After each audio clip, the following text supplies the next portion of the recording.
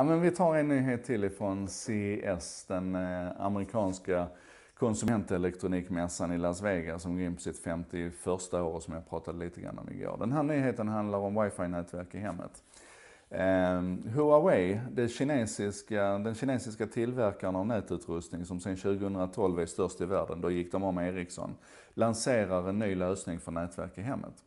Och den här lösningen bygger på egentligen gammal och beprövad teknik men man kombinerar det på ett nytt sätt. Det ena det är att de här enheterna kan kommunicera via powerline, alltså att man istället för nätverkssladdar ut till enheterna kommunicerar via elnätet.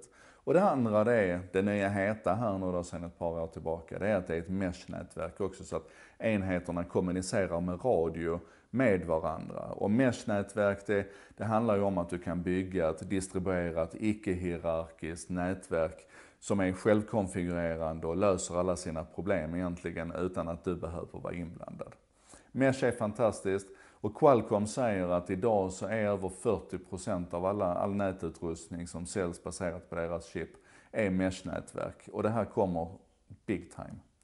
I julhelgen så hade Elgiganten en kampanj på Google Wifi. Och det är ett mesh-nätverk. Man sålde ett, ett trepack för ett väldigt förmånligt pris och jag kunde inte låta bli att åka ut och, och köpa ett. För så här är det, i vår lägenhet här på Skansgatan i Helsingborg, våra underbara nästan 160 kvadrat med vinklar och vrår och krokar. När vi flyttade in här för två och ett halvt år sedan så bestämde vi oss för att vi skulle ha det bästa nätverk vi kunde ha här hemma.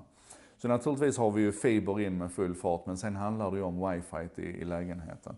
Och då investerar vi lite grann i Uni, Ubiquitys Unify, alltså det är stora puckar som man sätter upp i taket och så drar man fram ethernet-sladdar till varje puck och bygger liksom ett riktigt nätverk kan man säga. Man bygger verkligen det här nätverket. Och I skrubben sen då så hade jag routrar och gateways och, och, sladdar och jag hade en kontrollpanel i min dator där jag hade säkert 25 000 inställningar jag kunde göra. Och nörden i mig älskade. Och visst fungerade det.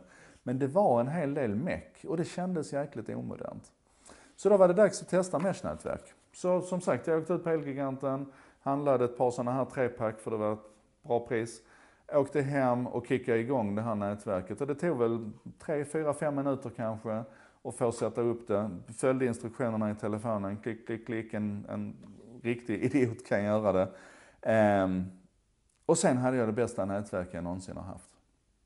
Jag gjort, testade att göra om tricket nere hos en, en granne här som också hade problem med sitt nät. Eh, tre minuter tog det där, där räckte det med två stycken sådana här wifi accesspunkter och så var deras mesh-nätverk färdigt, utbyggt och fungerande.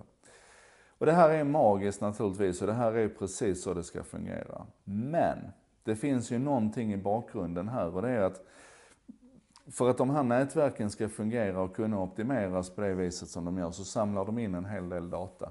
Det är naturligtvis inte så att de ligger och tittar på vilka webbsajter du besöker eller läser dina mail.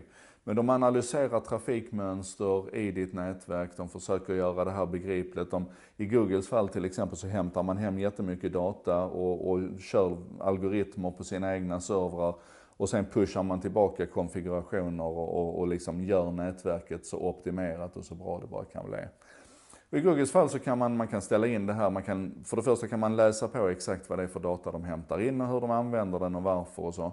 Men jag kan också i min lilla kontrollpanel i telefonen stänga av och säga att just den här datamängden får ni inte lov att hämta hem och använda utan den, den vill jag ha för mig själv.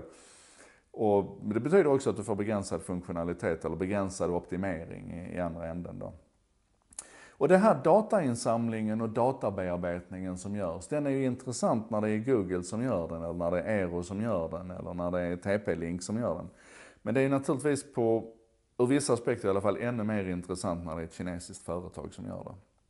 Och det här är man väldigt försiktig med i USA. Eh, asiatiska företag överhuvudtaget. DJI, drönartillverkaren, blev ju i princip marknaden dog ju för dem i USA när den amerikanska militären sa att här måste vi liksom, det här får vi inte pyssla med, deras drönare är farliga.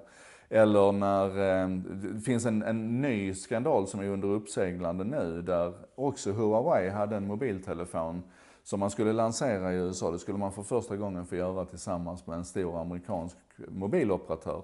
Och bara några dagar här innan CES så, så visade det sig att det blir inte på det viset. Och då misstänker man igen att, det, att man är orolig för att släppa in kinesiska företag så djupt in i sin egen infrastruktur och sådär. Och det, det är mycket runt det. Och vad jag är ute efter här nu det är att ett, naturligtvis, och det är, det är egentligen sidospåret, du bör titta över och skaffa dig ett mesh-nätverk där hemma, för det här är, det är fantastiskt bra. Men det vi då egentligen så behöver starta hjärnan runt, det är vilka, vilka data tillåter vi att släppa iväg?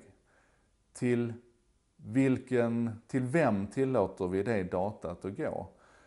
Och vad är vi beredda att göra för um, trade-off? Alltså vad vi, vad, vilka fördelar är vi beredda att, att släppa på för att vi vill hålla på vår integritet?